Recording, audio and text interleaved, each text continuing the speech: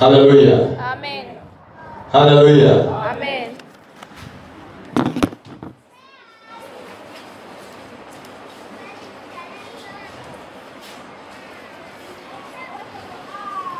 Mathayo saba, tunakwenda sura ile ya saba ya Mathayo na tutasimama mstari wa kumi na tatu na kumi na nne. Mathayo tunajifunza habari ya milango.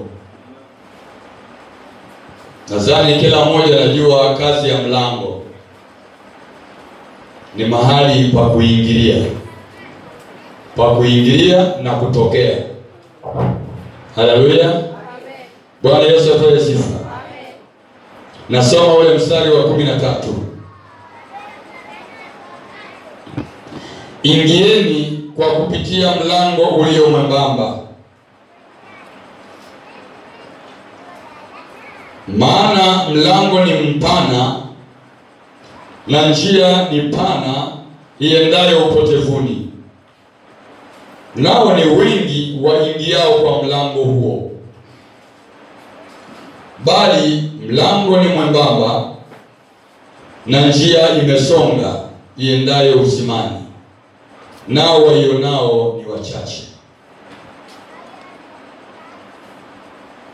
kumi na tano nasema jihadharini na manabii wa uongo, watu wa wanaoachia wamevaa mavazi ya kondoo, walakini kwa ndani ni mbwa mwitu wakali. kumi na sita nasema mtawatambua kwa matunda yao. Haleluya! Amen. Nitaenda kuomba. Mfalme na Bwana wa utukufu, mtakatifu, Bwana wa mbingu na nchi, Mungu uishie milele, na Bwana mfalme uliye juu ya roho za wote wenye mwili, wewe ni mkuu sana, nawe ndiye Bwana tunayekutumikia. Asante kwa ajili ya asubuhi, siku ambayo Mungu umetupa, siku ya tano ya mwaka wa elfu mbili na ishirini. Tunasema asante kwa sababu umetutunza miaka yote toka ulipotuunga tumboni kwa mama hata mpaka sasa. Baba, tunasema asante, na siku ya leo tumekumbuka tukukaribie, nasi tumekukaribia, maana umesema tukaribie ili tusikie, tusije tukatoa kafara kama za watu watoavyo wapumbavu. Nasi hatutaki kuwa wapumbavu, tunataka tutoe kama tusikiavyo kutoka kwako. Kwa jina la Yesu Kristo nimeomba na kushukuru, na kila mwenye pumzi sema amen. Sema amina kubwa. Haleluya. Unaweza kukaa.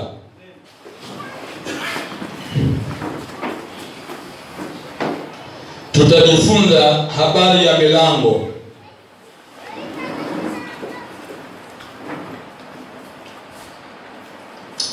Bwana Yesu anasema ingieni kupitia mlango ulio mwembamba. Kuna milango miwili. Kuna mmoja ni mlango mpana na mwingine ni mlango mwembamba, lakini Bwana Yesu anasema ingieni kwa kupitia mlango ulio mwembamba, maana mlango ni mpana na njia ni pana iendayo upotevuni. Bwana Yesu apewe sifa.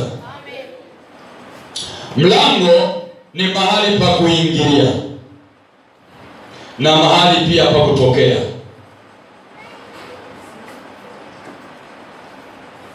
Haleluya!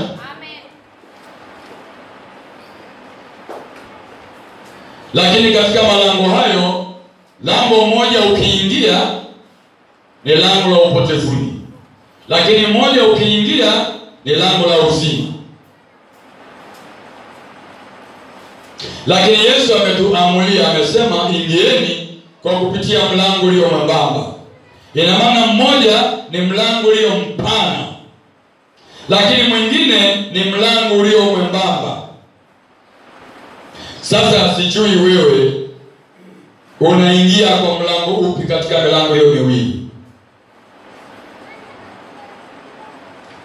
Haleluya lakini ngoja tujifunze hapa. Hii milango inayozungumzwa sio milango ya nyumba. Haleluya hii ni milango ya kiroho. Ni milango ya ufalme. Ufalme mmoja mlango wake ukiingia ni ufalme wa uzima. Lakini ufalme mwingine ni ufalme wa upotevuni na milango hiyo mmoja ni yesu na mwingine ni lucifer. Shetani sema mlango mpana ni shetani. Na mlango mwembamba ni yesu. Lakini wengi sema kwa sauti lakini wengi wanapenda mlango mpana. Wanapenda mlango mpana. haleluya. Haleluya. Bwana yesu apewe sifa. Shetani ni mlango ni mlango wa upotevuni ni mlango mpana. Kwa nini bwana yesu anasema na ni wengi?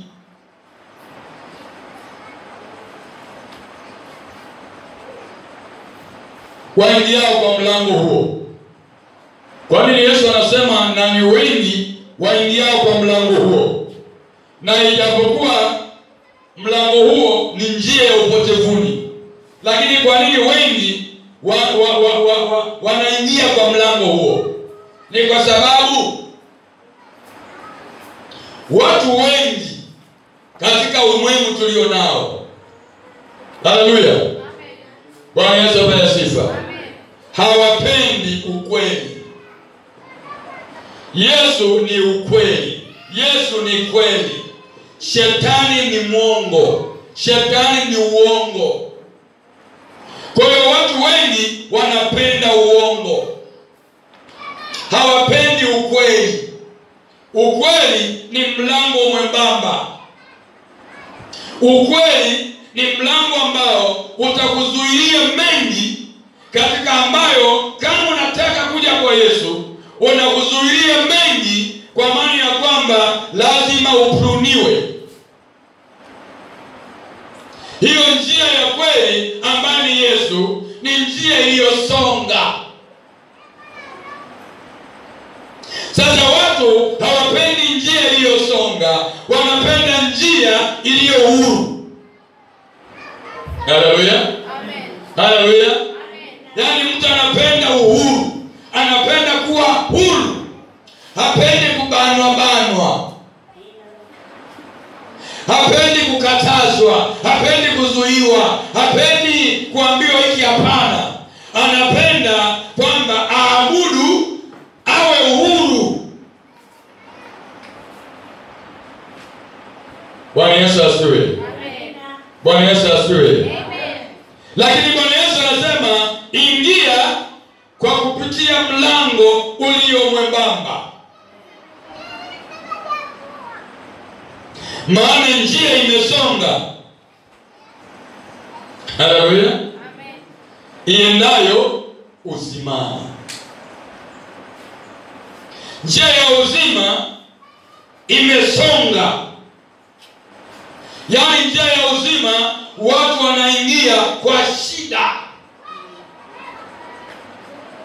Njia ya uzima watu hawaiendei kwa urahisi hakuna urahisi katika uzima haleluya Amen. katika njia ya uzima si kama unavyotaka wewe katika njia ya uzima ya kwamba katika eh, kwamba kuna masharti kuna ambayo unatakiwa kuyachukua katika safari yako na kuna ambayo hautakiwi kuyachukua.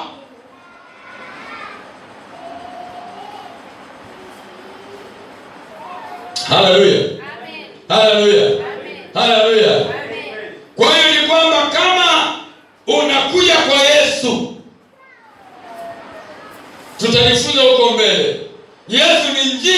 nyembamba.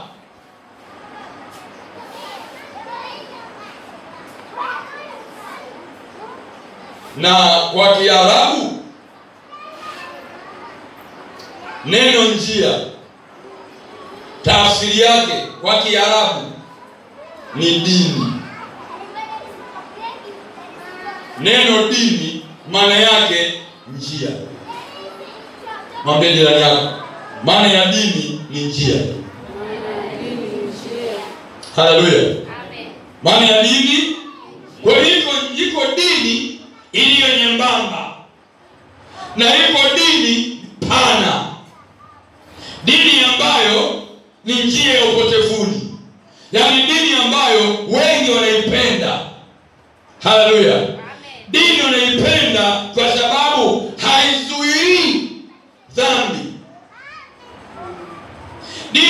ambayo unaweza kuwemo humo na madhambi yako unaweza kuwemo humo na mabaya yako unaweza kuwemo humo na anasa zako unaweza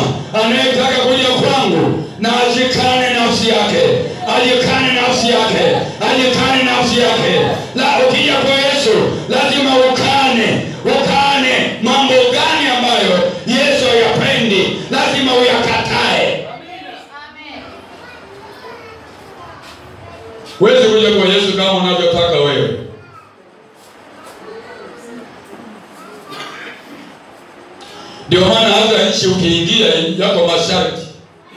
Kama sio raia, lazima uingie kwa visa. Haleluya!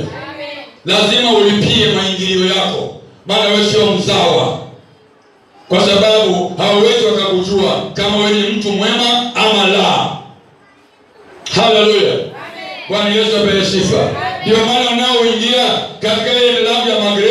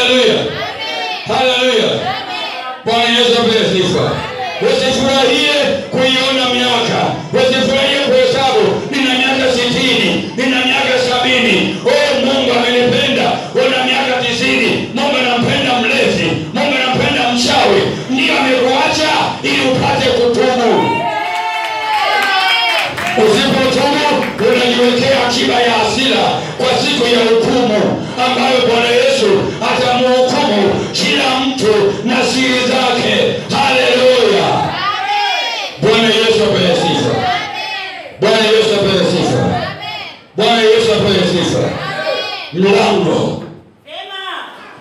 Yesu ni mlango, ni mlango wa uzima. Shetani ni mlango, mlango wa upotevuni, mlango wa mautini, mlango wa kwenda jehanamu. Haleluya, Bwana Yesu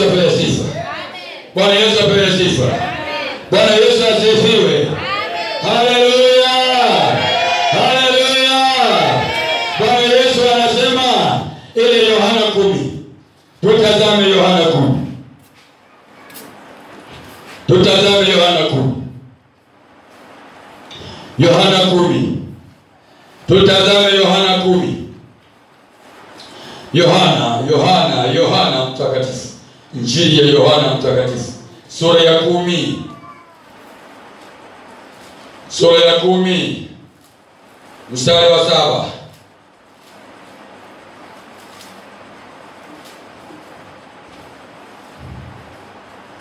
Basi Yesu aliwaambia tena, amini amini nawaambieni, mimi ndimi mlango.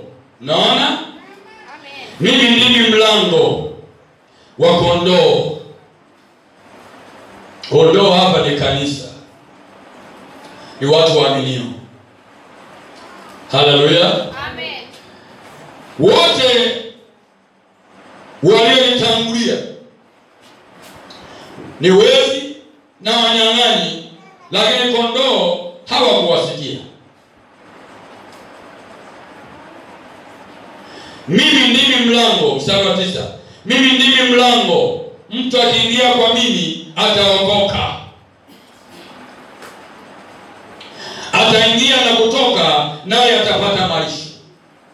Aleluya. Amén. Aleluya.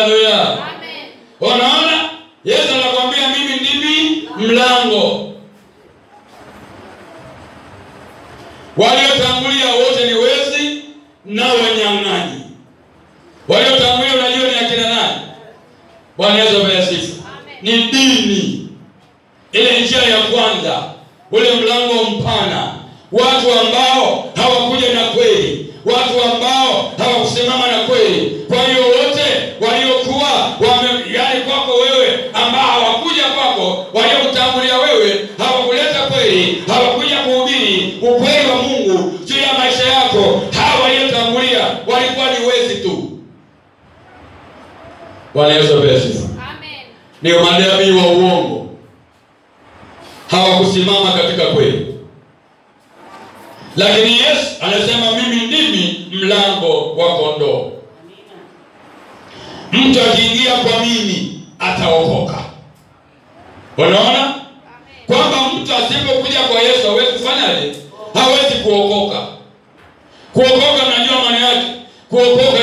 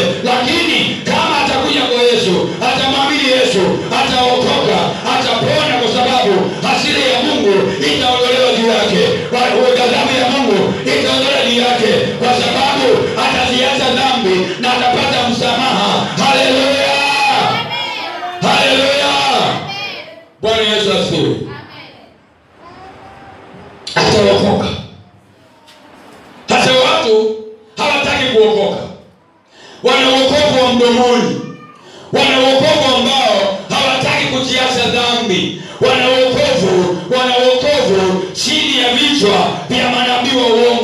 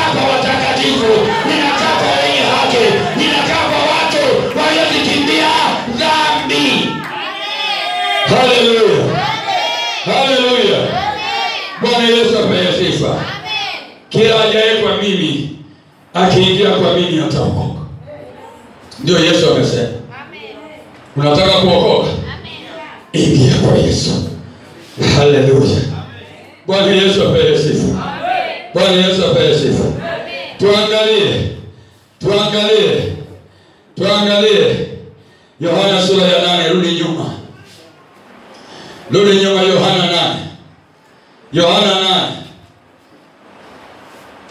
tuone mlango mpana, tuone mlango mpana. Yohana nane, Yohana nane,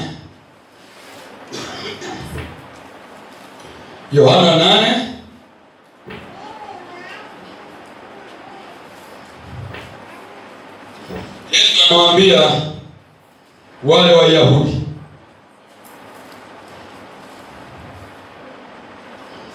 Kianzia nane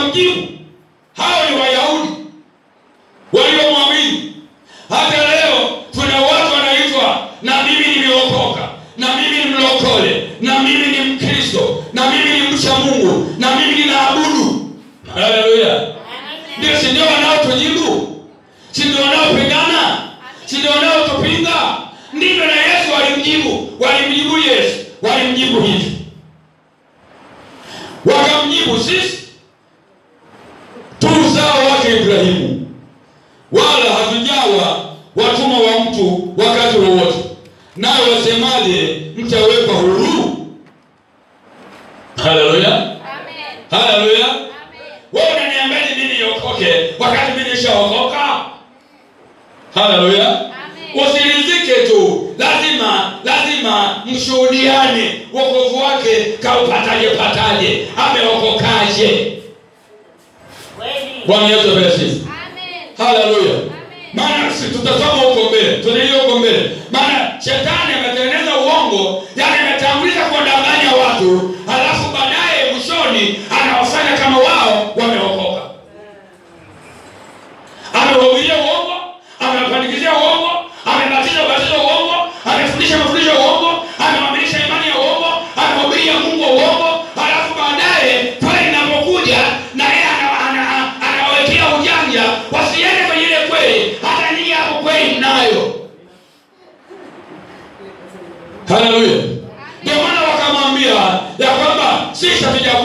mtumwa wa mtu yeyote. Sisi ni uzao wa ibrahimu Wao wanasemaje? utatuweka huru. Yesu akawaambia mstari thelathini na nne akawajibu amini amini nawaambia kila atendaye dhambi ni mtumwa. Unaona sasa anawajibu kwamba ni kweli ninyi uzao wa ibrahimu. Haleluya. Lakini ninyi ni watumwa wa nini wa dhambi hasa tutakuja kujua hapo watumwa wa dhambi waliupataje kama wao ni uzao wa ibrahimu. Ibrahimu ni baba wa imani ni mtu mwenye haki. Kama wao ni watoto wa ibrahimu uzao wa ibrahimu uzao wa haki uzao wa imani wanaomwamini mungu wanaomhofu mungu na wao dhambi wameikataa. Lakini imekuwaje dhambi imetawala maisha yao. Haleluya. Haleluya dhambi ni mtumwa wa dhambi. Haijalishi unaenda kanisani haijalishi unaingia kwenye nyumba za ibada haijalishi wewe unafanyaje lakini kama uko kwenye dhambi ni mtumwa wa dhambi. Maana yake haupo huru. Na kama ni mtumwa wa dhambi haupo katika katika lango lile lembamba. Upo kwenye mlango mpana. Maana mlango mpana ni mlango wenye dhambi. haleluya. Bwana yesu apewe sifa yesu anaendelea kusema thelathini na saba thelathini na sita au thelathini na tano. Wala mtumwa hakai nyumbani siku zote mwana hukaa siku zote. Najua mtumwa ni mtu anayefanya mtumwa si mtu wa kukaa mtumwa ni mtu wa kutumikia wa kutumika. Hatulii dhambi ikikaa ndani ya mtu haimfanyi mtu kuwa huru. Dhambi ikikaa ndani ya mtu ina- inakufanya wewe mwanadamu nafsi yako imetekwa mateka. Kwa hiyo ufanyi unalotaka unafanya dhambi inayotaka. Haleluya. Ndio maana warumi na saba kumi na tano kumi na sita kumi na saba mpaka ishirini nasema lile nilipendalo silitendi bali lile nilichukialo nilitendalo na kama nalichukia lile ambalo sio kama ni- kama na na na na nalitenda lile nilichukialo basi si mimi atendaye bali ile dhambi ikaayo ndani yangu. Kwa sababu taka nataka lakini sipati lililo jema. Haleluya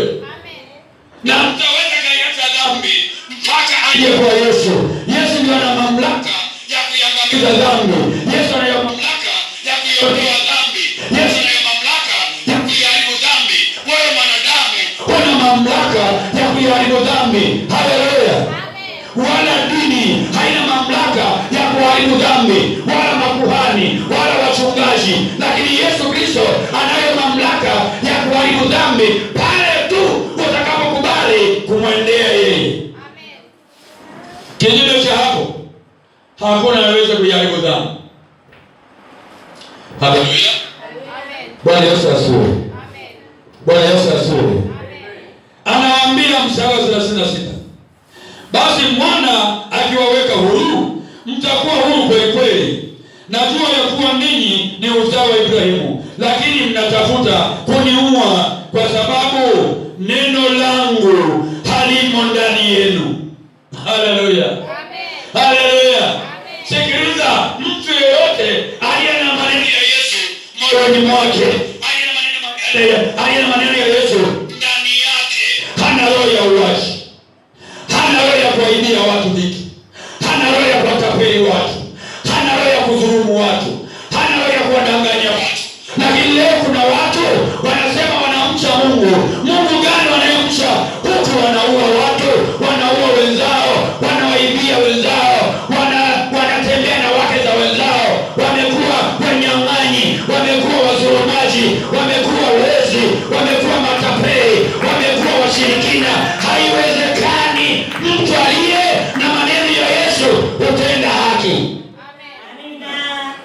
bwana yesu asifiwe.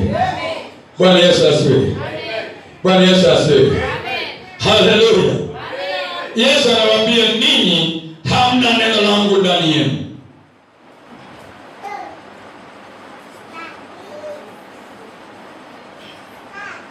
ngoja tuje mstari wa arobaini na moja anawaambia ninyi mnazitenda kazi za baba yenu ndipo walipomwambia sisi hatukuzaliwa kwa zinaa. Tunaye baba mmoja yaani mungu. Si kila watu wanasema leo? Si kila mmoja anasema mungu mungu ni mmoja tu. Huyo huyo mungu mungu wako na ndio mungu wetu si ndio? Haleluya. Ni kweli mungu ni mmoja tu. Lakini ni nani duniani hakuna mungu mmoja. Duniani kuna miungu mingi. Yesu anaambia ninyi mnazitenda kazi za baba yenu. Wakawambia sisi hatujazaliwa kwa zinaa kwa kiswahili kingine si wamemwambia sisi tuna mungu tuna baba mmoja tu yaani yaani mungu si ndio? Haleluya. Amen. lakini yesu aliwamaanisha hapa baba yenu ni shetani. Ndivyo yesu alivyomaanisha kwao. Wana mungu mmoja tu kwa mdomo kwa mdomoni. Lakini kazi anazozifanya si za huyo wanayemaanisha kazi anazozifanya ni za ibilisi kwa hiyo kutamka neno mdomoni mungu halikusaidii halikumaanishi kwamba wewe ndiyo mtu wa mungu. Haleluya. Bwana yesu apewe sifa ili uwe mtu wa mungu kweli lazima umwamini yesu. Ndio maana yesu anasema ninyi kwa sababu hamna neno langu ndani yenu kwa maana hiyo hamjakuwa huru. Ninyi watumwa. Mtu yeyote ambaye maneno ya yesu yanamtawala hawezi kuwa mtumwa wa dhambi haleluya Atakuwa atakuwa anaabudu katika roho na kweli. Mstari wa arobaini na yesu akamwambia kama mungu angekuwa baba yenu. Unaona kipengele kinachofuatia? anasemaje? Kama mungu angekuwa Baba yenu, anasemaje? Anasema mngenipenda- mimi. Haleluya. Bwana yesu apewe sifa. Kama mungu angelikuwa baba yenu angekuwa baba yenu mngenipenda mimi. Kwa maana nalitoka kwa mungu nami nimekuja. Wala sikuja kwa nafsi yangu. Pale ndo nafsi ya mungu mwana inapoondoka. Anasema kuja kwa nafsi? Kwa nafsi yangu. sasa? Ya baba haleluya Amen. lakini sio somo langu leo. Haleluya Amen. yaani anasema wala sikuja kwa nafsi yangu. Maana yake nyingine hivi? Labda mlionavyo labda mkazani ni mimi kama mimi. Sivyo mnavyonizona sivyo mnavyoniona. Naambia kama mungu alikuwa baba yenu. Haleluya Amen. mngeniamini mimi maanake ni hivi roho angewashuhudia kwamba yesu ni nani?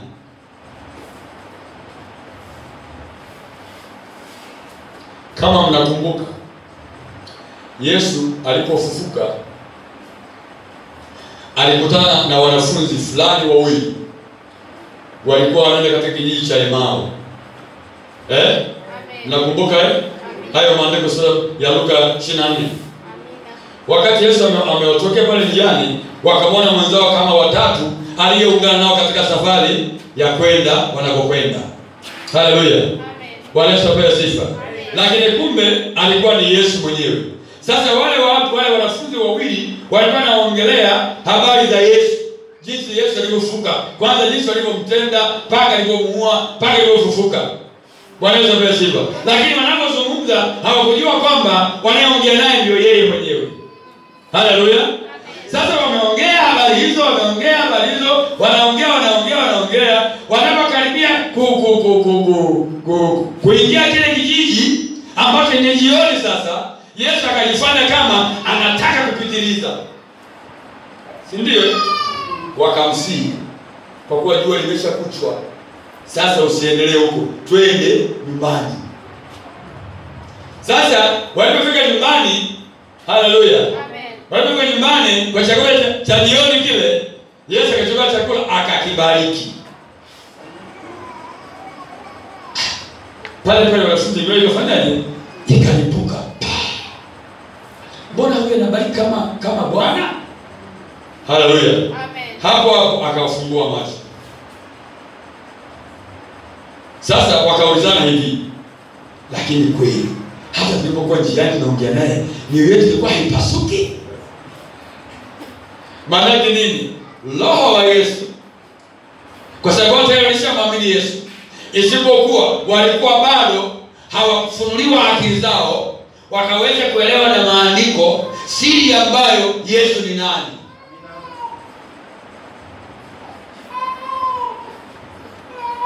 Hata hapa tulipo siku atokee bwana yesu atokee bwana yesu hapa. Yaani siku atokee bwana yesu hapa. Kama mtu yeyote kama mtu mwingine roho zetu lazima zita zitamnamua. haleluya Amen. haleluya Amen. haleluya Amen. haleluya na ndio maana hata kama ni mtu mbaya akiingia miongoni mwetu roho zetu zote zitafanya nini? Lazima zitamnamua yesu anamwambia mngenipenda mimi msalaba na tatu anasema hivi.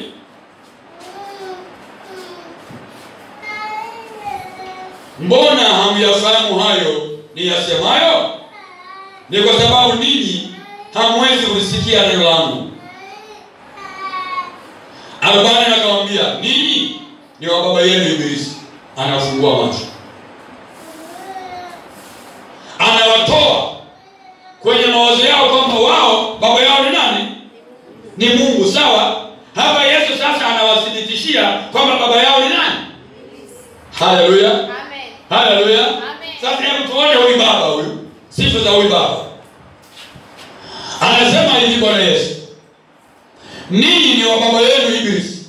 Na tamaa za baba yenu ndizo mpendazo kuzitenda. Yeye alikuwa muwaji tangu mwanzo wala hakusimama katika kweli kwa kuwa hamna hiyo kweli ndani yake asemapo uongo husema yale yake mwenyewe kwa, kwa, sababu yeye ni mwongo na baba wa huo.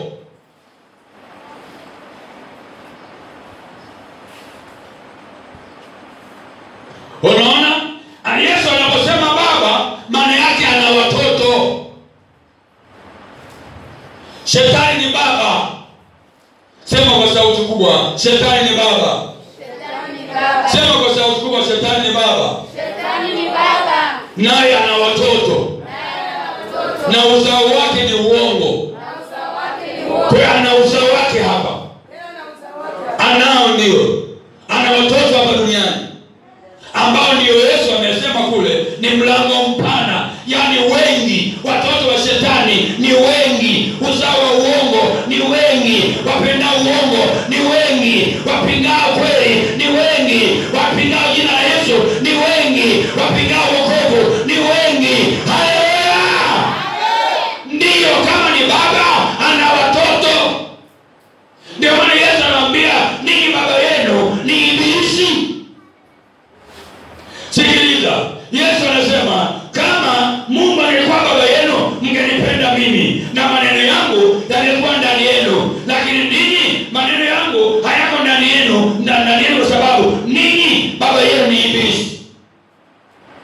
kwa nini? Wana wa shetani wana wa ibilisi hawezi kuyasikia maneno ya mungu. Haleluya. Amen. haleluya. Sasa itakuwa ni ajabu kama wewe ni mwana wa mungu kama wewe una maneno ya yesu kama wewe umeokolewa naye kama wewe ni kweli umeokoka inakuwaje wewe unayapinga maneno ya kristo? Inakuwaje unapingana na mafundisho ya kweli inakuwaje hubadiliki inakuwaje hugeuki inakuwaje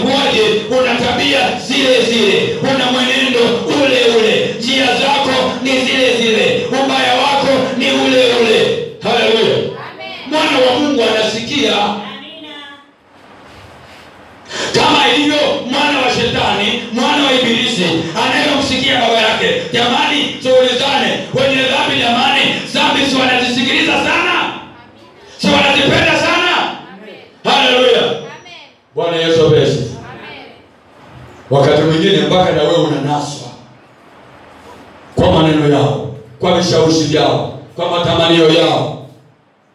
Tena wakati mwingine hata na ibada zao zimejaa uongo. Zimejaa mafundisho ya uongo. Hazina ukweli. Leo yako makanisa yanabariki pombe yanaruhusu waumini wao kupika pombe na makasisi wanaenda kuzibariki biashara eti biashara ya kanisa kuuza pombe. Bwana mungu anasema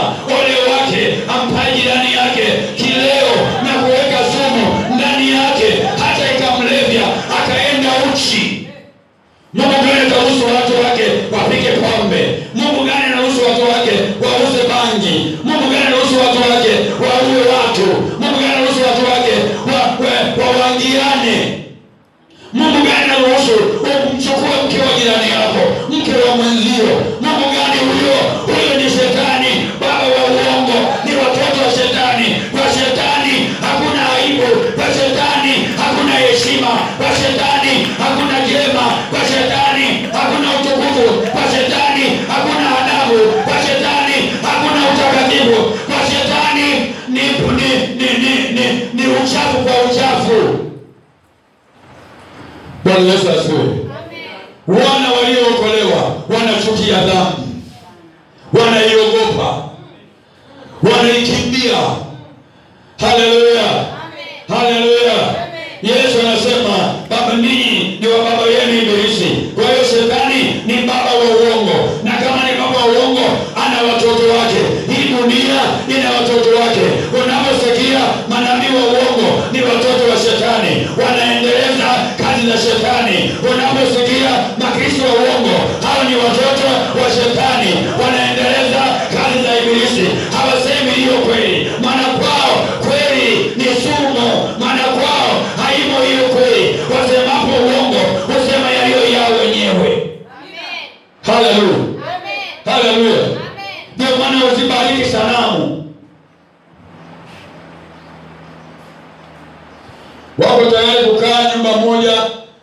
na mlevi kubuhu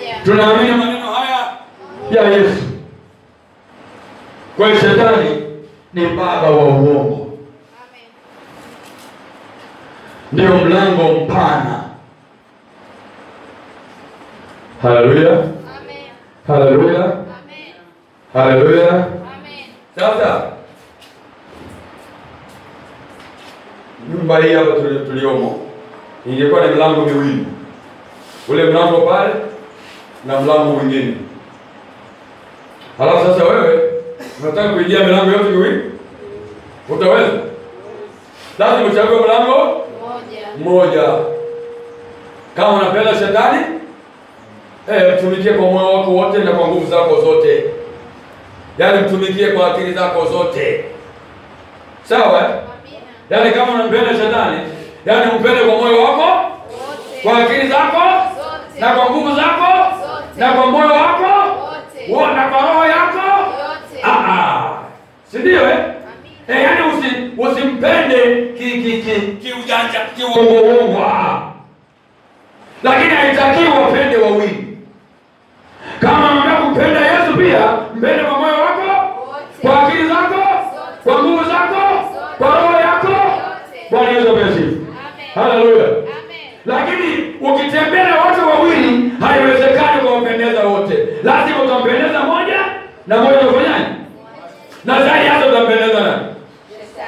shetani. Kwa nini? Sababu shetani ni mlango ulio huru, fanya yote unayotaka, vaa unavyotaka, hakuzuii. Tembea unavyotaka, cheza unavyotaka, ongea unavyotaka, hakuzuii. Soma unayotaka, hakuzuii. Lakini kwa Yesu anakuzuia, chagua unayo chagua ya kusoma, chagua kwa kutembea, chagua kwa kuongea nao, chagua kwa kuwa nao karibu, chagua, si ndio? Eh, eh, kwa- kwa Yesu chagua, kwa shetani kuna kuchagua.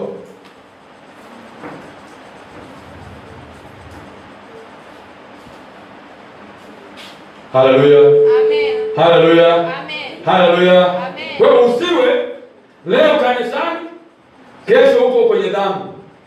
Mguu mmoja wapi? Mguu mmoja? Ah, ah. Hautaki utembee hivi. Hakuna mtu anayetembea. Anayetembea hivi hajakamilika.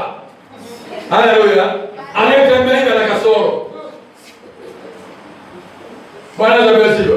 Wewe kuna mtu anatembea. Si wapo lakini wapo anatembea. Unajua anafanya nini? Ana kasoro. Yaani nyonga zake hazizunguki. Bwana Yesu asifiwe. Amen. Lakini Mungu akutuambia hakutuumba tutembee hivi. Alituumba tutembee. Si ndio? eh? Yaani sawa sawa. Sawa? Haleluya. Eh, ukiona mtu anaongea mdomo, hujua hayuko sawa sawa. Si ndio? Ukiona mtu anaona hivi, hujua hayuko sawa sawa. Ndio maana anaona sawa sawa, macho yake yanaangalia vizuri na yanapepesa vizuri. Bwana Yesu asifiwe. Ukiona mtu ana vidole vipo hivi, hujui hayuko sawa sawa. sawa Maana vidole lazima vipanuke na kusogea na kujikunja. Lakini vidole vikiwa hivi, haliwezi kujikunja.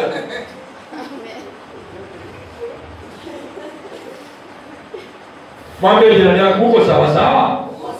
Wewe unatembea sawa sawa? Wewe ni mwana wa nani? Wa Ibilisi au wa Yesu? Wewe ni mlango gani unao? Mlango mpana au mlango mwembamba? Maana mlango mpana kila kitu kila kitu kinaingia, mpaka sumu inaingia.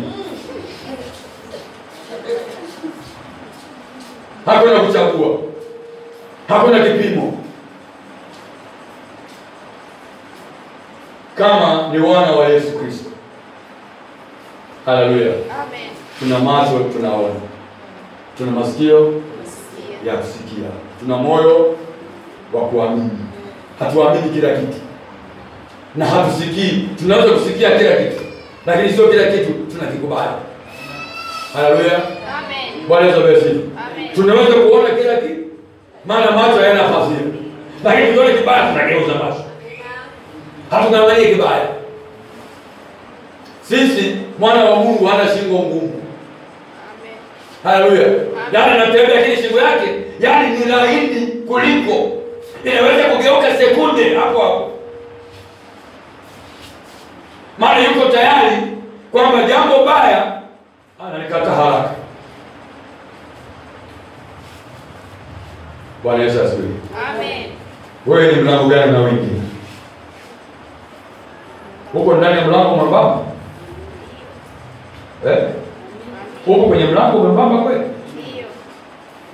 au wewe ndio kila dini ni ya kwako, kila dhehebu ni la kwako, kila ibada ni za kwako, kila mchungaji ni wakwako, kila mhubiri ni wakwako, kila mtume na nabii ni wakwako. yaani wewe hauchagui.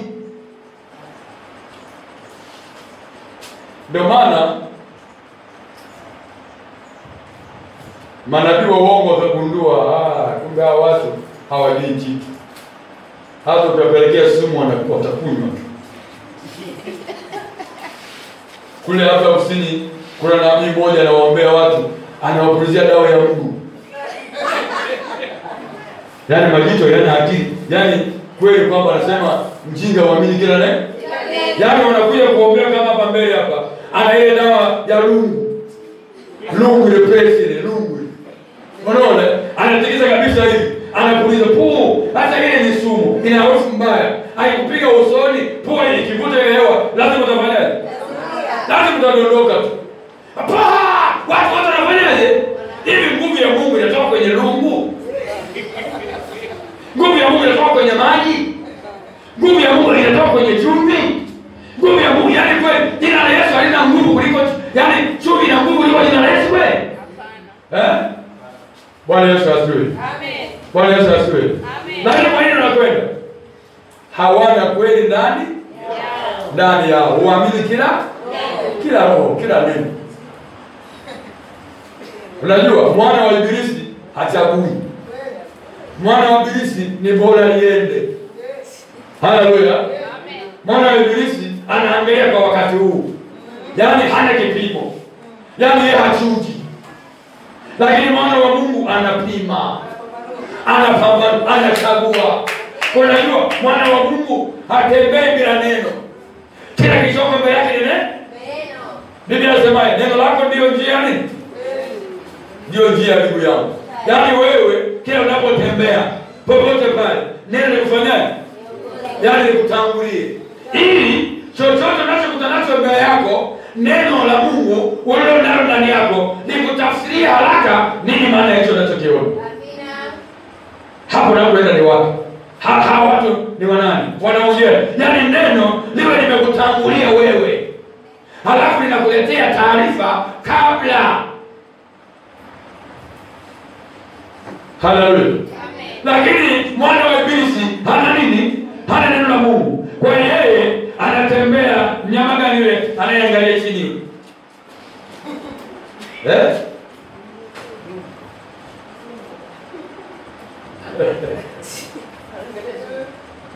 Yeye angalia mbele, yeye anaangalia chini. Sasa kama ni kanisa unatembea unaangalia,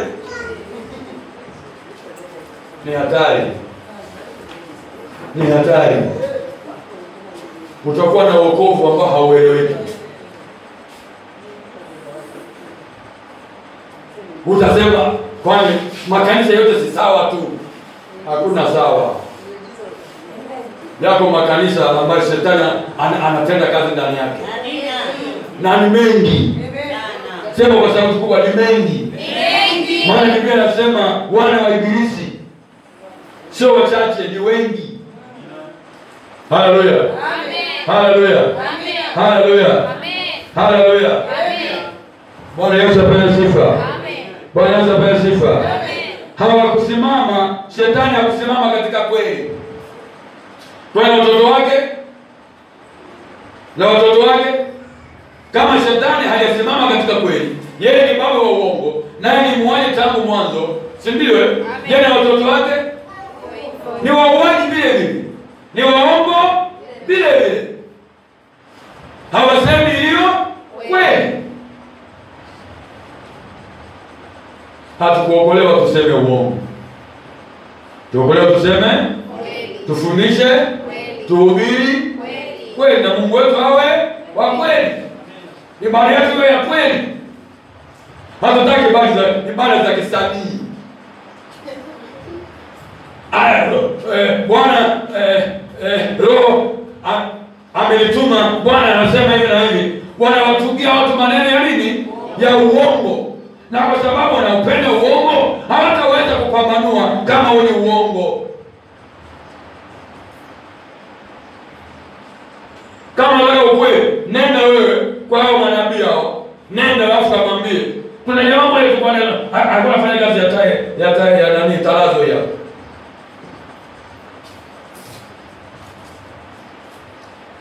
akaona siku message imeingia ya nabii moja yuko mita yetu ya- ile mitaa yetu ile, akampigia akamtumia message kwamba wewe uh, nimeona uh, kuna wachawi sita wamekuchukua wamekupeleka baharini. Kwa hiyo upatapo upatapo message haraka sana, njoo nikuombee. Sasa kama aliwaona, kwa nini asiwakemee? Eh? Halafu mtu mwenyewe huyo ni waibi. Bwana Yesu asifiwe. Haleluya. Akaniambia mchungaji, hebu angalia hii. Hii ni sawa sawa. Nikamwambia kwani wewe unaonaje?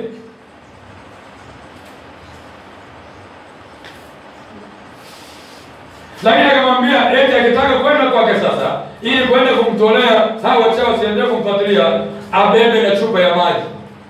Ya nini?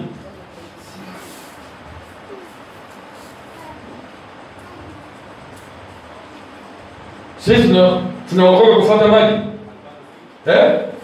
Nani kama unaokoka kufuata maji, imekula kwako. Sisi hatufuati maji na wala hapa tuombee kwa maji.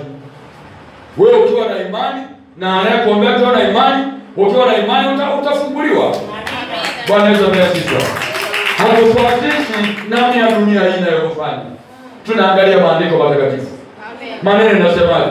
Mungu ni neno, yuko kwenye neno. Yesu anasema kama mngalikuwa maneno yangu yalikuwa ndani yenu, msingetafuta kuniua, lakini mnatafuta kuniua kwa sababu neno langu halimo ndani yenu. Haleluya! Bwana Yesu asifiwe. Mtume Paulo anasema sisemi uongo katika Kristo, nasema iliyo kwa hiyo ina maana ukiwa wa Kristo unatakiwa useme iliyo kweli, hakuna uongo. Ukisema uongo unajiangamiza mwenyewe, na Biblia inatufundisha kabisa. Mathayo kumi na mbili thelathini na tano hebu soma Mathayo kumi na mbili thelathini na tano soma haraka.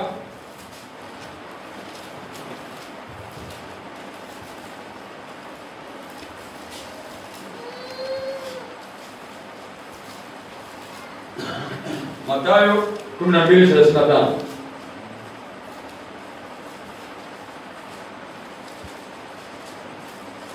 Eh, soma kwa sauti.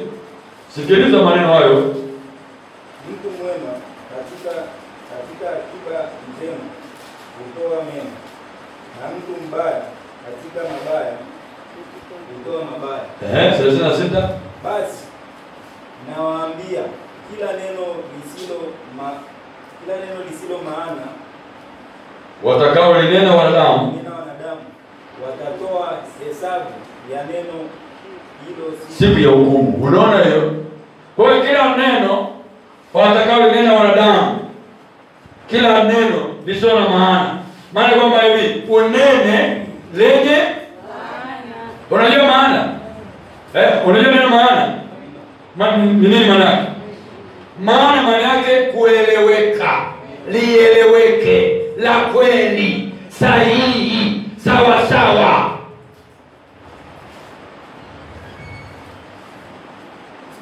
Sikiliza, mimi hapa ni mchungaji, si ndio?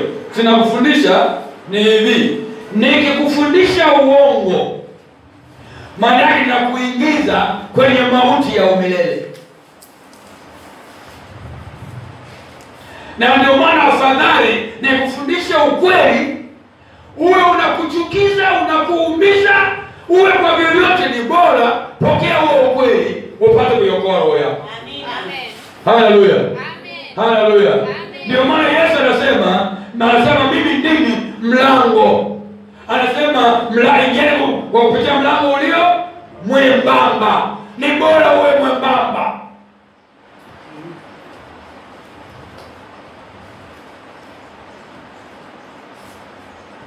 Haleluya, Amen. haleluya. Amen. Unajua kuwa mwembamba, maana kwamba hivi, yaani kula kwa kuchagua.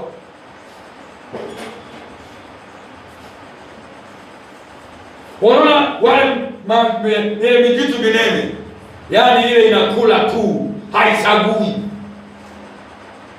Walafi mlafi ananeneva yaani kupita umri wake, kupita kupita kupita urefu wake wa umbo kajitu kafupi lakini kimenenepeana makilo hayo. Mtoto mmoja kimanga pale, mtoto darasa la tatu ana kilo mia mbili. Huyu atapona huyu eh? Atapona huyu? Yaani manyama yamezidi mfuko wake, halafu na moyo wake umelazimishwa kufanyaje? Kupanuka zaidi kabla ya wakati, maana moyo unakuwa kulingana na jinsi unavyofanyaje, unavyokuwa. Umeona ngumi hii, ngumi yako, kila moja ilivyo na viringisha ngumi yako. Ngumi yako ndio ukubwa moyo wako, haipiti haipiti ngumi yako. Ndio maana ukipita ukipita ukubwa wa ngumi yako utakuwa ni mtu wa kuuguaugua sana. Haleluya. Amen. Bwana Yesu asifiwe. Amen. Lazima u kila mwanadamu, yaani wewe mwambie jirani yako, nena maneno yenye maana Nena maneno yenye maana. yanayoeleweka mbele za Mungu na mbele za wanadamu. Na wewe mwenyewe ukijishuhudia unayosema ni kweli. Hamna kudanganyana. Haleluya. Bwana yesu apewe. Haya twende efeso. Sura ya nne. Efeso sura ya nne. Waraka kwa efeso sura ya nne fungua haraka efeso sura ya nne. Andika efeso sura ya nne. Mstari wa ishirini mpaka ishirini na moja. Ah, mpaka ishirini na nne.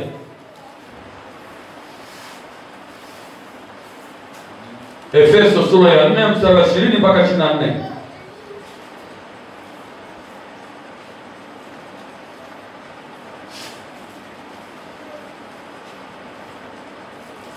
Haleluya. Amen. Ukianzia mstari wa 17 anaongelea habari za wa mataifa. Ah, Mstari wa 20 anaongelea habari za waamini, yaani kanisa. Hapa anakuambia kumi na saba. Tuanze kwa mataifa, anasema hivi Kwa kumi na saba anasema hivi, basi nasema neno hili tena, nashuhudia katika Bwana, tangu sasa msienende kama mataifa waenendavyo katika ubatili wa nia zao. Mataifa hawaenendi katika nia njema. Nia ya mataifa ni ubatili. Mataifa hana jema.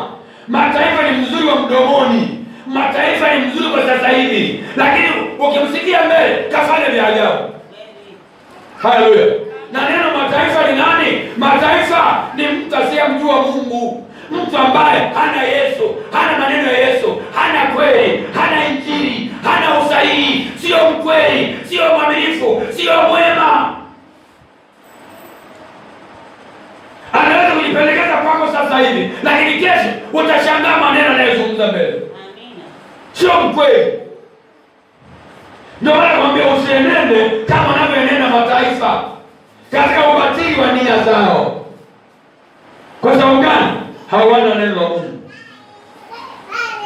mioyoni mwao. Dhambi ndio imekamata mioyo yao. Haleluya, Amen. haleluya, Amen. haleluya. Kumi na nne anasema ambao, yani mataifa ambao akili zao zimetiwa giza, yani akili zao hazina ufunuo, zimetiwa giza, hazina nuru.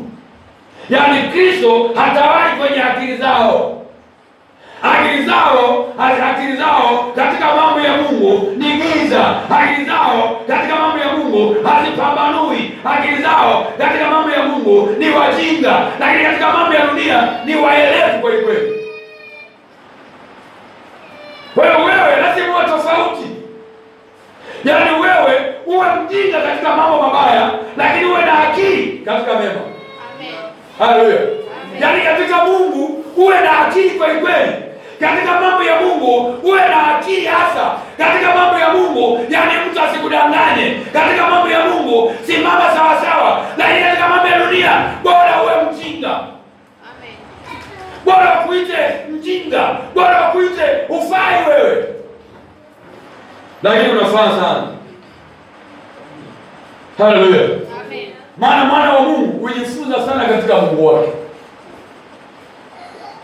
Kwa akili zao hao zimetiwa giza, ndio maana anaweza anaweza kwenda kuagua na anaingia kwenye ibada.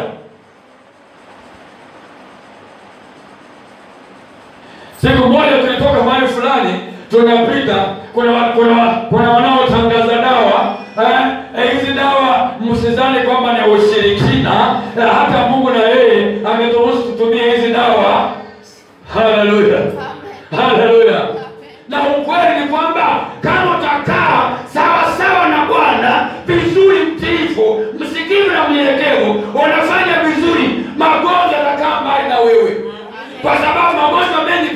yanatokana kula kwa ulafi, yani hamna kipimo, hamchagui, mnafakamia kila kitu, mavitu ma, ma yenye baridi kale nye mnayafakamia, mnabubujia mpaka mabarafu. Kwa nini moyo wako usiweze kusumbuka? Mtu anakagadua mabarafu. Barafu sio chakula. Barafu ni hatari ya moyo wako kila wakati vichombe vitaisha. Maana vichombe barafu vinakwenda kugandisha barafu kwenye mifupa yako kwenye kwenye chesti yako kwenye maini kwenye moyo. Mafuta ya ndani yanaganda. Baadaye yale mafuta ndani ya moyo ndani ya mwili kuna joto. Hata unapoleta barafu maana ni kwamba unapunguza ile joto la ndani. Mafuta yanaganda yaliganda mafuta moyo unasinzia alafu utasema wachao ati ni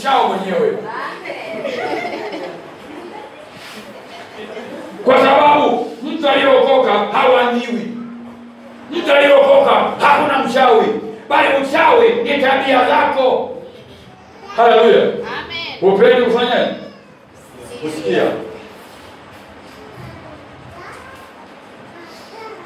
Ibada za wapagani huko mbio nazo. Kwani mapepo yasikubali eh? Tabia za wapagani unaambatana nazo. Kwa nini mapepo yasikuba- yasikupagani sio mzinzi sawa. Lakini unavaa nguo za, za wazinzi. Kwa nini mapepo ya kiuzinzi yasikuingie? Eh? hapa naonya. Mafundisho yanasema kwa sababu kumi na nane ambayo zao zimetiwa giza nao wamefarikishwa na uzima wa mungu. Unaona? Yaani wametenganishwa wamefarakana na uzima wa mungu. Kwa sababu gani? Hawajamwamini kristo. Neno lake haliko ndani yao. Kwa hiyo wamefarakanishwa na nini? Na uzima. Habari ya uzima kwao si nchi. Ukikaa naye hadi usio rafiki zako. Ukikaa nao kaya wanawatembelea. Unakuja kwao ukikaa nao ukiongea mambo ya mungu. Anakwambia "Ah, ondoka zako hapa bwana. Unatuleteza kuleta hapa bwana. Eh, hapa sio. Oya. Hebu weka chaneli yako vizuri.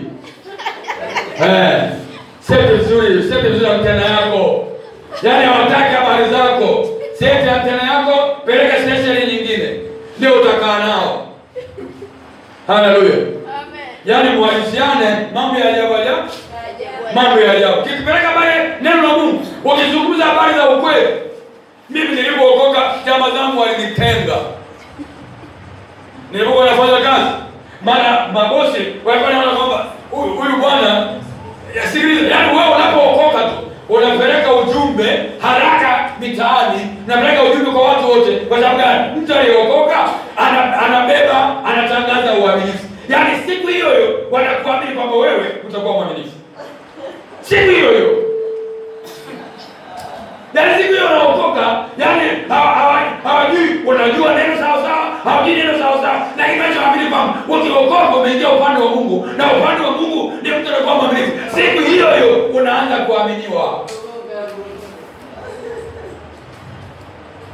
Wakasema mnatupatia sisi huyu? Yaani hapa hatutakunywa chai. Kunywa chai najua ni kuiba. Wakanaambia bwana sasa bosi ameweza kukabidhi lungu ndio. Lakini bwana sisi bwana tutafanya hiki na hiki usiende kumwambia. Nikamwambia nitasema. Kwa sababu wewe na mimi wote tunafanya kazi mo? Tutakwenda kupata malipo sawa sawa kwa nini tena wewe unataka kuiba kwa sababu? Utakachoiba mimi sitafanyaje? Sita sitapokea. Sitakichukua na kama mimi sitakichukua nitakuachaje wewe uchukue? Nikanyamaze kimya kwa bosi? Nitaenda kusema chagua kufanya kazi au kuwa. Lakini huwezi kuiba mbele yangu mimi alafu kanyamaza. ndivyo ilivyo kwamba usile pamoja na wenye damu moja. A a, lazima uthibitishe haki yako. Mungu anachukia Mithali sita mi- mi- mi- mi- mistari kumi- sita kumi na sita. Anasema anachukia mtu mwongo asemaye uongo. Hamna kukubaliana na mtu mwongo bora wa Eh, sisi wenzako toka tumeanza kazi tumetabilika tumetajirika, wacha watajirike. Iko siku moja watakuwa maskini kuliko wewe. Amen. Mimi. Haleluya. Amen. Kama unataka kujua hili sawa sawa, mlizani tajiri Lazaro, tajiri na Lazaro, nani siku ya mwisho alikuwa tajiri? Na nani alikuwa maskini na mkubwa? Eh. Siangalie maisha ya nchi. Siangalie vinavyoonekana. Ni vya kitambo tu hivi. Bwana Yesu asifiwe. Amen. Haleluya. Amen. Haleluya. Amen. Na wengine wanakuambia usipookoka, au ukiokoka wewe wewe utaokokaje kijana, utafaidi maisha. Yaani kwa maana kwamba hivi utaifaidi dhambi maana yake. Nani anakuambia mtu asipookoka? Kwanza mtu aliyeokoka ndio anafaidi maisha. Kwanza anakula vizuri, anavaa vizuri. Haleluya. Ana marafiki wazuri. Kwa sababu mtu aliyeokoka ni mstaarabu, ana heshima, ana adabu, hata nyumba yake ataiweka vizuri. Bwana Yesu apewe sifa. Haleluya. Haleluya. Siku hiyo unayookolewa, siku hiyo unaanza kuheshimiwa. Na ndio maana nakwambia, ah, wewe si kwa nini unafanya? Yaani hawajaokoka lakini wanajua waliokoka wanavaaje. Wanajua waliokoka wanaongeaje. Wanajua. Sasa wewe kama umeokoka, lazima uwe nuru huko. Sio unaonekana umevaa tai hapa, umevaa vizuri hapa, lakini ukitoka huko wewe ni sha, shambalo. Mnavaa ovyo ovyo. Yaani mkali ni wewe, matusi ni wewe, ugomvi ni wewe, ukorofi ni wewe. Wewe ni mwana wa Ibilisi. Haleluya. Haleluya. Amen. Neno lake halipo ndani ya neno la Kristo liko wapi? Ndani. Ndani yako. Bwana Yesu asifiwe. Amen. Mstari wa kumi na tisa unasema ambao wakiisha kufa ganzi, yaani mataifa, wanajitia katika mambo ya ufisadi, wapate kufanyiza kila namna ya uchafu kwa kutamani. Yaani ni watu wenye kujikinai, yaani mioyo kufanya nini? Unajua wanasemaje? Kwa ni kwanza eh? Kwani wangapi wamekufa? Ah, hizo ni imani tu ubana ukisha kufa ndio mambo yafanyaje? Hakuna hakuna cha kusema Yesu anarudi kwanza na wengine na wengine wanahubiri. Yesu amewadanganya. Toka leo sema anarudi. Mbona mpaka leo hajaje? Lakini usoma maandiko ya Petro anakwambia kwamba kukawia kwake haleluya, kukawia kwake kuna kuletea wewe wokovu, kwa sababu hapendi hata mtu mmoja afanyaje apotee, bali wote wafikirie wafikirie toba. Kwa hiyo ni hisani umepewa, ni upendo wa ajabu. Sikiliza nikwambie, hasira ya Mungu ya dunia hii imefichwa ndani ya Kristo kwa mauti ya msalaba. Ule ule ule mauti ya msalaba, kusulubiwa kwa Yesu ndio alizuia ghadhabu yote ya eh, yani kwamba apigwe yeye, lakini sisi tupate kupona kwa maana ndo alizuia ile mauti. Kwa hiyo wakati ulionao ni wakati wa neema. Ndio maana maandiko ya kwamba kwamba yeye, hebu wewe tusome, tusome Ibrania kumi. Hebu angalia Ibrania kumi, halafu tutarudi hapa Efeso. Ibrania kumi, rudi nenda haraka haraka, Ibrania kumi.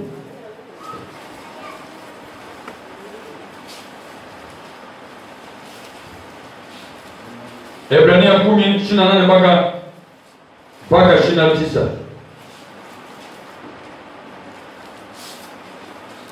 Ibrania kumi umeiona? ishirini na nane inasema hivi, mtu aliyedharau sheria ya Musa hufa pasipo huruma kwa neno la mashahidi wawili au watatu. Mwaonaje, haikumpasa adhabu iliyokuwa zaidi mtu yule aliyemkanyaga mwana wa Mungu na kuihesabu damu ya damu ya agano aliyotakaswa kwayo kuwa ni kitu ovyo na kumfanyia jeuri roho wa neema? Wewe uliokoka, yani yani wewe uliokoka, usisubutu kumfanyia jeuri, maana wewe umeokolewa kwa damu ya Yesu. Haleluya, Amen. haleluya! Ndio maana amesema atakayejua akikosea atapigwa zaidi, na asiyejua atapigwa kidogo. Kwa hasira ya Mungu itaanza wapi? Kwako wewe, nyumba ya Mungu ambaye ni kanisa. Kwa hiyo kanisa, usimwambie jirani yako kanisa, mwambie mwambie jirani yako, mwambie kanisa, usimfanyie jeuri. Roho wa neema ni neema tu hiyo uliyoipata, haukustahili wewe katika hiyo neema. Sisi kama mataifa tulikuwa tumetengwa na Waisraeli, tulikuwa tunaonekana mkubwa sisi, tulikuwa tuna thamani. Bwana Yesu apewe sifa. Amen. Yaani mataifa, ndio maana hata wazungu walipokuja kutawala dunia waliona Waafrika kama mbwa, Wa- wa- wa- wa- tena wanatuambia sisi ni manyani, si ndio? Je, ni kweli? Nyani si nyani? Wanaambia sisi masoko, ni kweli? Kwa sababu alivyo mzungu na ulivyo na wewe hakuna utofauti, hata kitu kimoja, ni rangi tu, lakini walitudharau.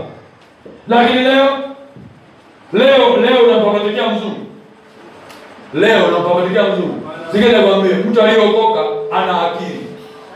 Ana mali hana mali hana elimu hana nini, lakini ukipata elimu ya Mungu, haleluya, hakuna anayekubabaisha, kubabaisha hakuna.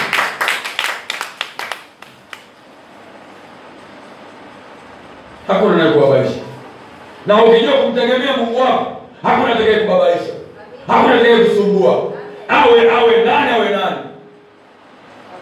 na hakuna kitu kizuri kama unaijua haki. Bwana Yesu asifiwe. Amen. na ukijua haki watakwambia wewe unalinga, watakwambia wewe unajivuna. Unajua wanataka wakunyanyapae, wanataka wewe wakuonee kila wakati. Usikubali kuonewa. Bwana Yesu apewe sifa. Wewe si mjinga wa kiasi hicho, hata kama hujaenda vyuo, hujaenda vidato, lakini neno la Mungu lina elimu kuliko mtu aliyeenda chuoni. Ndio maana mtu aliyekuwa ameokoka ana akili kuliko aliyesoma na kutamani. Kusoma hiyo uelimike hata kama umesoma unavuta bangi, kama unasoma unaiba, kama unasoma eh, tena unasomea damu za watu, halafu mimi siui, sisomee damu za watu, sitoi rushwa. Nani ana akili sasa eh? Haleluya, Amen. Bwana Yesu asifiwe. Amen. Bwana Yesu asifiwe. Mwambie jirani yako uwe na akili, pita kwenye mlango mwembamba, toka kwenye mlango mpana, utapotea au ndio umeshapotea.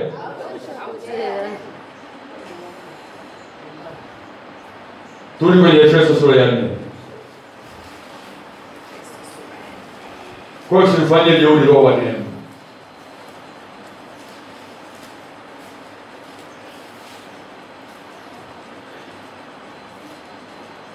Mstari wa ishirini unasema bali ninyi, yaani watakatifu kanisa, watu waliookoka, watu walioamini, bali ninyi sivyo mlivyojifunza Kristo. Mhm. Tunajifunza nini katika Kristo? Inasema ishirini na moja ikiwa mlimsikia mkafundishwa katika yeye kama kweli ilivyo katika Yesu. Kwa hiyo kweli ilivyo katika kwa kwa Yesu kuna nini? Kuna kweli, kwa shetani kuna nini? Kuna uongo. Kwa hiyo watumishi wa shetani ni wengi zaidi, wasema uongo ni wengi zaidi, lakini mtumishi wa Yesu lazima aseme, maana ndivyo alivyojifunza. Anasema kama mlivyomsikia.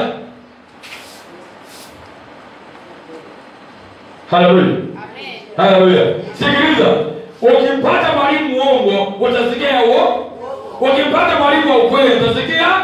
Sasa wewe tembea na ya ukweli ili uyapambanue yale ya uongo, upate kuyapinga, upate kuyakataa, upate kuyachukia, yasikukaribie, yaweke mbali nawe.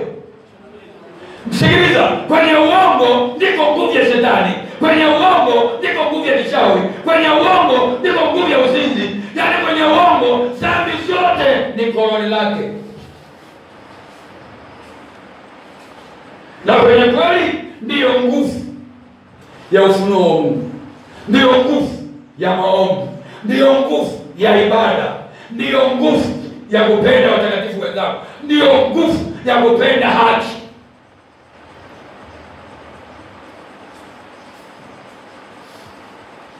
Shetani ameuingiza tarehe moja, shetani ameuingiza tarehe moja, watu wamekimbizana na mwaka mpya. Huu.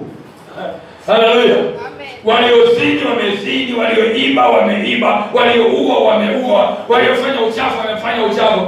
Alafu leo wanajifanya wako sawa sawa. Haleluya! Kumbe wanatembea tayari zile dhambi wameshaifanya, Wameshaibeba. Kwani mwaka mpya ni siku ya nini? Mwaka mpya ni siku ya kanisa, ni siku ya serikali. Haleluya! Amen. Kwa sababu mambo ya kanisa haiwezi kusimamiwa na serikali. Mambo ya kanisa ni kanisa. Mambo ya kanisa hayahusiani na serikali, hayahusiani na watu wasioamini. Mambo ya kanisa ni watu walioamini. Hata na wale mambo yako ya kanisa, wewe usimamiwe na watu wasioamini, uongoze unini uratibiwe na watu wasioamini. Yaani serikali ikuratibie mambo ya, kanisa, haiwezekani. Bwana Yesu amesifiwa. Lakini wana wa ibilisi upepo huu. Haleluya. Amen. Alafu kuanzia tarehe mbili na tarehe tatu wameachana, kila mmoja yuko vyake. Sikukuu zikija wote wanafanyaje? Wanaungana, zikipita wanaachana. Bwana Yesu asifiwe. Amen. Halafu na wewe unatembea katika hayo, ni mlango mpana huo, ni wengi walionao, na ni njia ya wapi? Lakini njia katika mlango ulio na njia imefanya nini? Na ni njia ya wapi? Ya uzima. Watakusema tofauti wanavyofikiria. Sisi hatufuatishi dunia, sisi hatuishi kwa, kwa, kwa wazazi. Inatosha, tulisha walishatulisisha sana, lakini sasa tunaishi kwa Kristo. Amen. Haleluya. Amen. Eh, wetu ni Kristo sasa.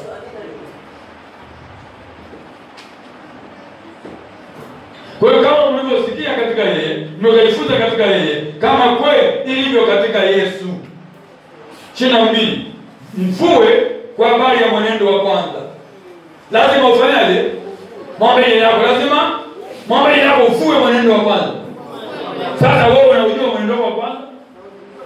Mwenendo wa kwanza tunaujua? Kuna mwenendo ambao, tabia ambazo hazikupendeza mbele za Kristo, hazikupendeza. Ulikuwa ufuati neno, unafuata wanadamu, lakini sasa lazima ufue mwenendo. Kitu gani kinasababisha uvue? Ni neno, ndio inakusababisha tabia hii ufue, mwenendo uvue tabia hii uvue tabia hii uvue.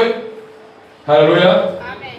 uvue mwenendo wako wa kwanza, unajua tabia zako ambazo hazikupendeza Kristo, hazikupendeza Mungu. Tabia zako za kwanza wewe unazijua, sina sababu nikutajie, lakini wewe unazijua. Si kwa mfano mwaka jana, si ndio? Huu si ndio mwaka mpya wa elfu mbili ishirini.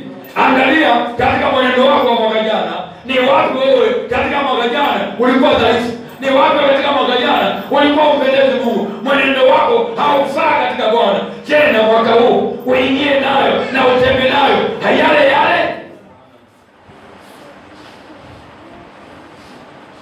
Kwa lazima ufue mwenendo wako wa kwanza.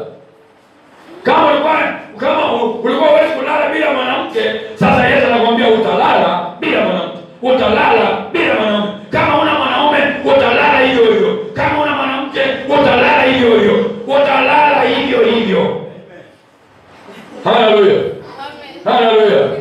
Sio kulala na hawala, ah, kulala na mume aliyekuoa, aliyekuposea mahali, anaye anayefahamika, yuda, hata kanisa linamjua. Lakini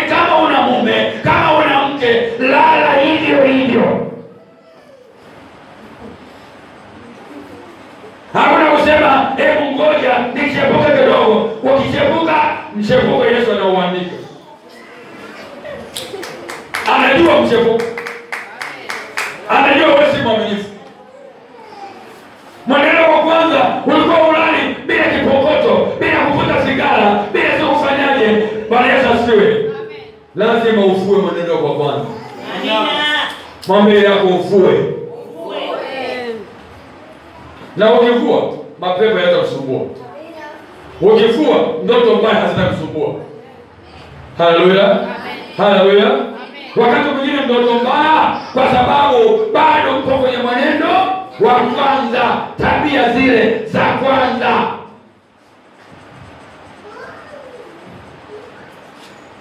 lazima ufue mwenendo wako wa kwanza, utu wa zamani. Tena nakwambia utu wa zamani unaoharibika kwa kuzifuata tamaa zenye kudanganya.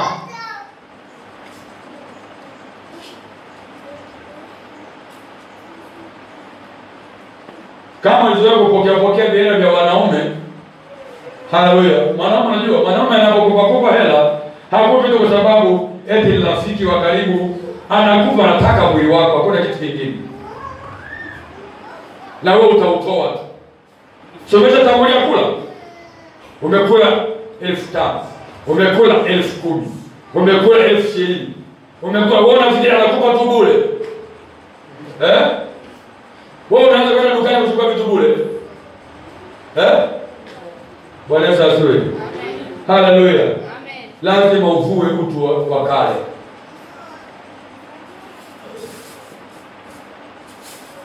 Changanyo, changanyo. Bwana Yesu, Bwana Yesu apende. Lakini mstari ishirini na tatu anakwambia na mfanywe wapya katika roho ya nia zenu. Unaona? Kwa hiyo sasa lazima roho ya nia yako, yaani nia ya roho yako kule ndani, ile dhamira lazima ubadilike, uwe mtu mpya. Unajua sifa ya mtu iwe ni mbaya iwe ni nzuri, tabia nzuri au ni mbaya, awe awe mwabudu sanamu au mwabudu Mungu wa kweli. Unajua kinachofanya yote yale wapi? Ni dhamira. Unajua wokovu kwa ajili ya nini? Unajua dhamira ndio inayookoka, dhamira ya ndani, sio hili umbo la nje, ni ile ndani. Yaani mtu akigeuka kutoka ndani na mwili wake wote umefanya nini? Umegeuka. Ukiona mtu katika mwili wa nje ana mambo yanayosumbua, yanapingana na neno, yanapingana na mafundisho, ujue kule ndani hajafanyaje? Hajakubaliana, hajabadilika bado. Kule ndani yuko gizani. Kule ndani bado ni mongo. Kule ndani bado ni mgomvi. Kule ndani bado ni mkorofi. Kule ndani bado ni muaji. Kule ndani bado ni msengenyaji. Kule ndani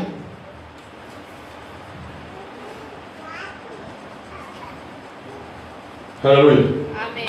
Mwambie jirani yako, je, samira yako imegeuka? Samira yako imebadilika?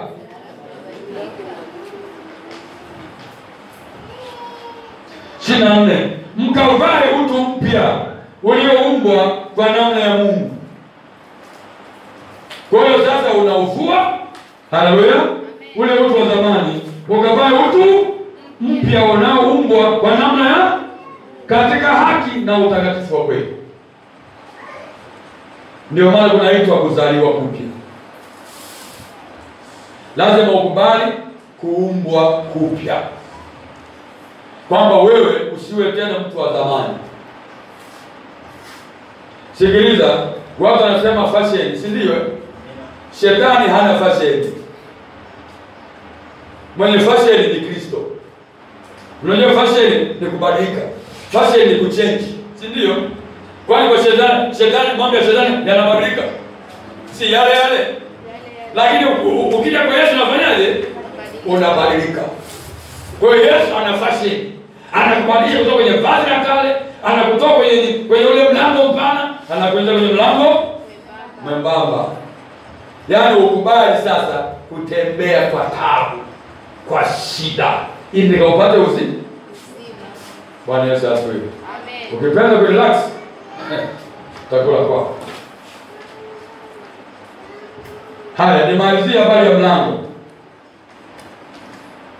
Habari ya mlango, Zaburi ya moja kumi na nane inaongelea habari ya mlango. Soma Zaburi ya moja kumi na nane mstari wa kumi na tisa na ishirini.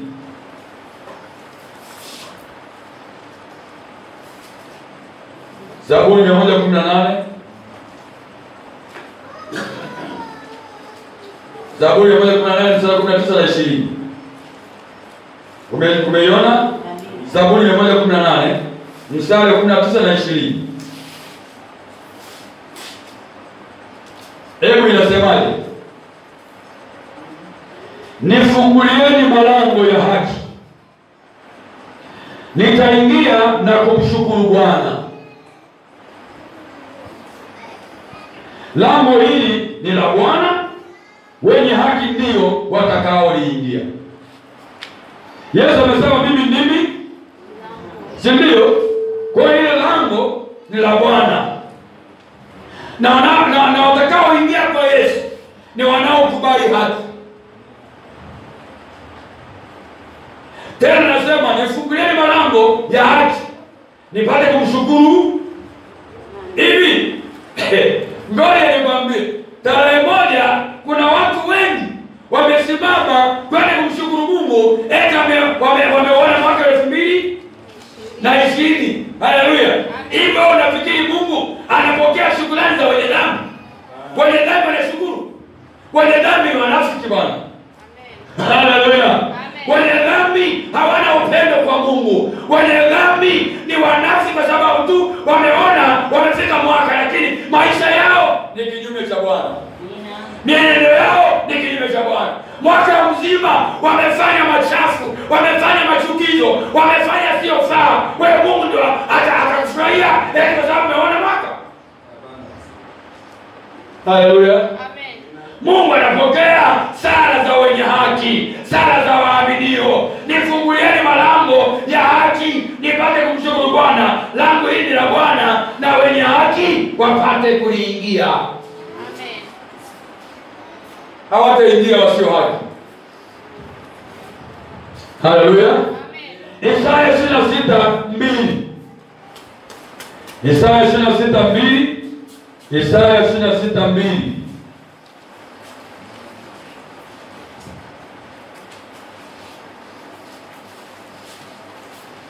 Isaya ishirini na sita mbili Isaya ishirini na sita mbili wekeni wazi malango yake taifa lenye haki lishikalo kweli liingie. Haleluya!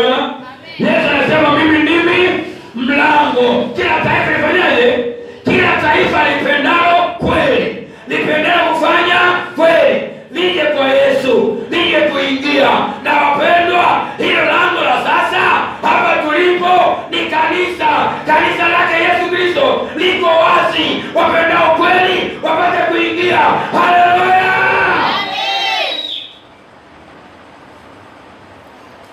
ili utaamini ni kweli kwamba ni kanisa hilo lango.